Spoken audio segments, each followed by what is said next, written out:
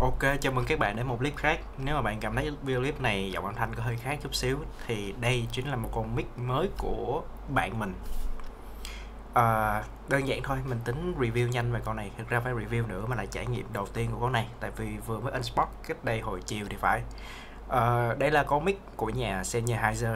Mình không biết là mình đọc đúng tên không Nhưng mà nó cùng hãng với cái tai nghe. Ờ, mình quên mất cái tai nghe của mình đâu mất tiêu rồi thì nếu mà được đánh giá đó thì mình thấy rất nhiều dân chuyên đánh giá cái con shotgun nhỏ gọn mà trong tầm giá đó quay đầu á, thì không con nào uh, ngon hơn cái dòng Sennheiser MKE 400 và 200 thì ở đây mình đang có một con là bản 200 thì vậy mình quên mất cái mã đó là gì rồi tại vì mình không phải là người mua.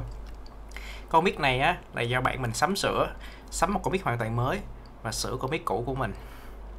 Tuyệt vời luôn.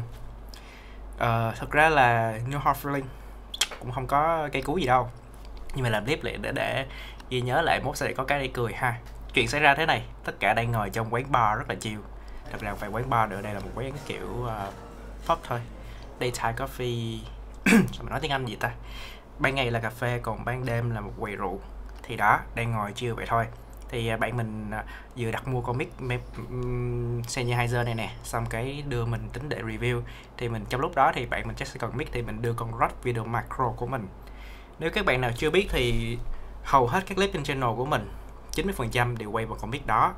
Và con mic này đã theo mình từ 6 7 năm trước, hoặc như là hơn, mình không nhớ nữa, một thời gian rất rất là lâu rồi. Nó đã chinh chiến theo mình từ những cái job nhỏ, job lớn, cũng như là uh, cái nhu cầu quay vlog này nè từ trải qua biết bao nhiêu đời thiết bị luôn nhưng con mic đó vẫn đi theo mình. Tại vì phải công nhận đó là một con mic rất là ngon của nhà Rode ha. Các bạn biết mà chơi mic thì ờ, rod Rode cũng nổi tiếng rồi ha không có gì lạ nữa. Uh, mình đưa con mic đó cho bạn mình rồi mình có dặn là ừ, cái dây cắm vào á nó có hơi lỏng một tí ha có gì nhớ kiểm tra audio level với lại cắm vô nó sát chưa á. Ừ thì bạn mình cũng cầm lên kiểm tra. Xong rồi uh, bạn đó xoay gắn lại á kiểu như uh, nhét vô cái lỗ gắn mic cái này như một đầu là để cắm vào máy ảnh đúng không? Thì một đầu cắm vào mic á thì bạn nó xoay bạn nghĩ là sẽ siết lại nhưng mà vô tình là sai chiều thành ra là tuôn cái ren của bên trong cái mic đó ra nó tuôn ra luôn. Thành ra là nó bị lỏng mà không thể gắn xài được như bình thường. Thì bạn mình cũng có nghĩ đến việc tìm những cái uh, hỏi thăm những cái chỗ để sửa mic đó. Thì uh, buổi tối rồi trong Sài Gòn cũng không biết chỗ nào để sửa mic cả bạn mình tự sửa luôn và kết quả là sau khi mày mò làm sao để mở được cái mic đó ra tại vì nhìn bên ngoài nó không có cái tháo ốc bình thường đâu nó nhìn như kiểu là một cái khối liền vậy. Phải gia nhiệt lên để tháo ra vậy. Vì à, mình không biết bằng ma thuật là bạn đã tháo được. Nhưng mà trong quá trình tháo ra thì à, đứt hai dây đứt hai cái cáp rồi. Thật ra là mình không biết số phận của mic đó làm sao rồi. Thì đó bạn mình sắm mic mới đồng thời sửa luôn mic cũ của mình. Tuyệt vời. Ờ, thật ra thì mình cũng muốn mua một mic mới cũng lâu lắm rồi. Và các bạn nào mà hỏi mình tư vấn á, thì mình hay tư vấn những con mic như là Rod hoặc là mic shotgun thôi nha, mic Rod hoặc là mic Sennheiser này. Và đồng thời là có thêm dòng mic DT nữa. Nói chung hiện tại thị trường có rất nhiều sự lựa chọn mic và giá nó phù hợp nữa. Mình cũng muốn đổi qua những con mic mới. Một thời gian rất là lâu từ xưa rồi, nhưng mà mình không có lý do để đổi một con mic đang rất là ngon. Tại tính mình á, cái gì mà đang xài tốt, xài ngon thì không có lý do gì để mình nâng cấp cả. Và bây giờ bạn mình rất là tốt bụng 2024 cho mình lý do để mua một con mic mới và trước thời gian đó thì mình sẽ xài tạm hay là cũng không xài tạm đâu xài cú đổ của người khác cũng ấy nấy lắm. Đây là mic Sennheiser bạn thấy chất lượng âm thanh là sao? Kể cả bản thân mình cũng không nghe được mình chỉ khi nào hậu kỳ mới biết được thôi. À, xem hình dáng nó chút xíu đã. Hiện tại thì mình đang không giữ một con mic nào cả, không dây lẫn có dây luôn cho nên mình sử dụng mic zin của máy và mình boost cái audio level lên mức 27. Hồi nãy mình set ở mic mức 11 rồi cắm con mic này thôi ha. Và đây, đây chính là comic Sennheiser. Bạn sẽ thấy cái biểu tượng đặc trưng truyền thống của Sen ha. Đây là comic ờ, uh, MK200, cái mã của nó ngay đây nè. Uh, thiết kế rất là nhỏ gọn, đơn giản thôi, không có gì cầu kỳ hết có vẻ là như là nó sẽ nhỏ gọn nhẹ hơn cả comic rod cũ của mình uh, phía trước á, là một cái lỗ để cắm vào cái dây mic ha và có vẻ như là cái lỗ này á, chỉ dùng được cho cái dây cáp của Sennheiser thôi thiết kế của nó là vừa khít nè rồi có thêm một cái đồ ốc siết siết nó lại giữ chặt luôn còn tháo ra hoặc để luôn cũng được. Thì uh, mình xài tai nghe của Sen rồi mình biết là nó hay ờ, keo kiệt lắm. Kể cả cái tai nghe của nó đó là tai nghe không dây đúng không? Nó kèm theo một sợi cáp có dây á thì nó là một đầu 3.5 một đầu 2.5 để mình không thể sử dụng cái dây đó vào việc khác được. Hơi keo kiệt nha Sennheiser. À, đây là mic định hướng. Theo lý thì cái phần thu âm nhất ở đây và lúc mà mình test á, thì mình cảm thấy là ở phía sau này cũng thu âm một phần nhỏ. Có nghĩa là uh, khả năng cao là mic này có thể dùng được hai chiều trước và sau. Ừ, cần phải test kỹ hơn vì đó ha. Mic định hướng mà. Không có nút gạt để chuyển đổi gì hết cũng không hề xài pin luôn.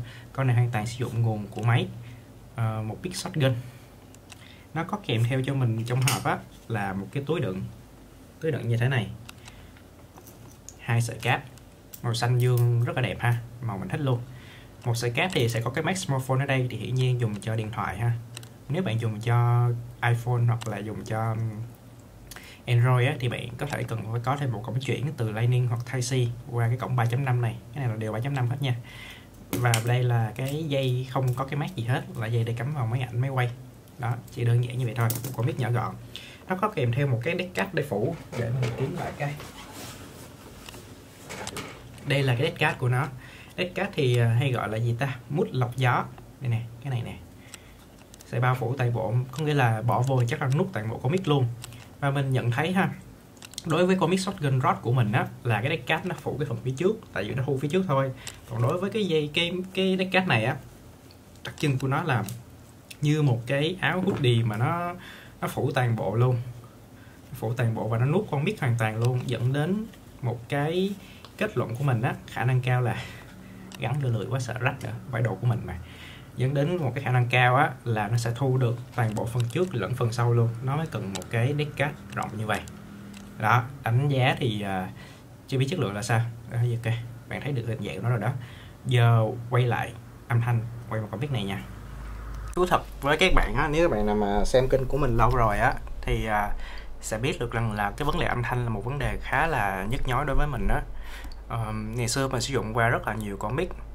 Có một thời mình sử dụng mic của Saramonic nè mic shotgun luôn nha. Mic của Boya nè hai dòng mic Boya luôn. Uh, mic của rod, rod Go nha. Cả tất cả những con mic đó bị một cái lỗi là uh, âm thanh nó bị hissing, bị noise. Cái tiếng nó rè cực kỳ khó chịu tiếng nhiễu điện á. Và mình không có cách nào khắc phục được hết. Cho đến khi mình đổi lên con video macro này và xài từ hồi đó tới bây giờ. Hồi xưa thì à, cái dòng mic uh, video macro đó nổi tiếng lắm bạn. Tất cả những cái youtuber subscriber mà mình biết á uh, subscriber trên vài triệu mà mình biết á thì họ đều sử dụng con mic này kể cả Peter McKinnon cũng xài con mic đó.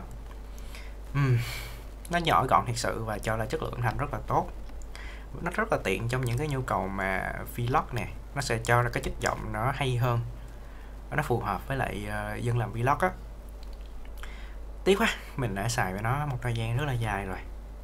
À, vấn đề của nó là nó um, cái cáp nó không được bền lắm thôi. Cáp của rod á mình khi mình rút mic ra thì mình hay sẽ cầm cầm cái dây sợi mic kéo cái mic ra luôn á. Thành ra là nó bị rách đứt và mình thay cái cọng cáp đó mấy lần rồi. Cái cáp chuyển giống như vậy nè nó thay mấy lần rồi tại vì nó không có được bền gì lắm hoặc là do cách mình xài phá đó. Còn lại chất lượng của nó và kể như độ bền á, thì cũng rất là ngon. Chỉ có một số người đánh giá là cái cái cái bộ khung đỡ rung chống rung lắc của nó đó chống uh, va đập á cái khung nhựa đó, đó thì người ta bảo là không bền mà hơn là sao là mình chưa bị gãy bao giờ hết nhưng mà rất là nhiều người sử dụng mình thấy là bị gãy đó rồi. Và phải mua thay thế mà không có hàng cho nên phải mua bằng của những hãng khác như là của cái con DT gắn vô. Thì cũng gắn vừa thôi cũng xài ok mà. Uhm, tiếc quá. Hôm nay là có thể là uh, ngày cuối rồi. Tại vì sáng nay mình còn sử dụng được cái con Microd Vino Macro nó quay một video ngắn. Xong rồi cái buổi chiều cái con hết được sử dụng nó rồi nó chuyển qua xài con mic khác.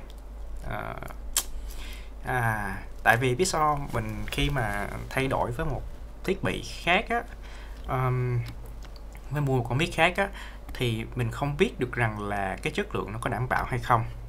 Tại vì đối với âm thanh mình muốn nó một khi đã tìm được sự ổn định tìm được cái mic uh, thu voi thu âm thanh phù hợp với nhu cầu của mình rồi á mà giờ phải lại tiếp tục đi săn tìm một con mic phù hợp với nhu cầu của mình nó rất là chật vật ha. Mình không biết là ổn không.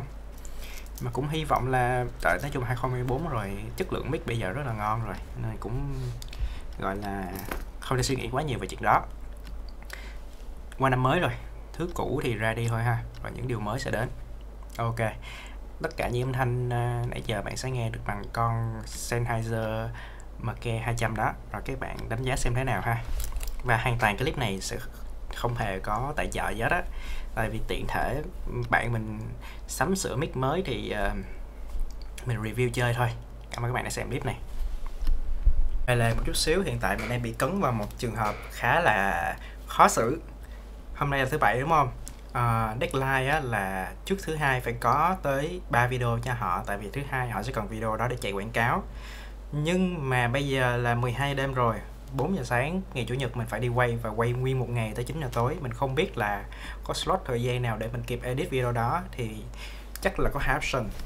Option thứ nhất là mình sẽ edit cái video ba bốn video đó thâu đêm suốt sáng.